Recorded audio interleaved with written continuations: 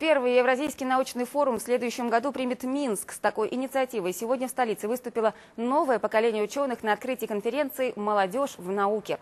Главная ее цель – обмен опытом, а акцент – конкретные разработки и их внедрение. Международный форум для нашей страны традиционный.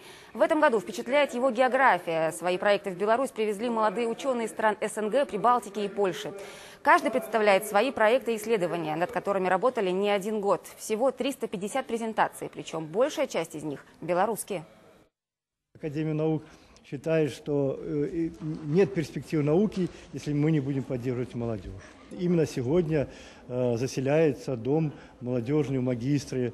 Э, ну, повышение заработной платы намечено существенное создание национальных лабораторий, в том числе молодежных. Мы вот э, тесно сотрудничаем с белорусской стороной вот уже три года.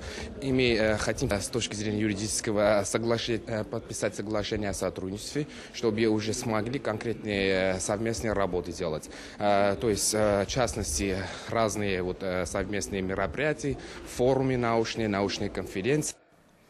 Международный форум молодежи в науке продлится четыре дня. Подведут его итоги и наградят лучших уже в пятницу.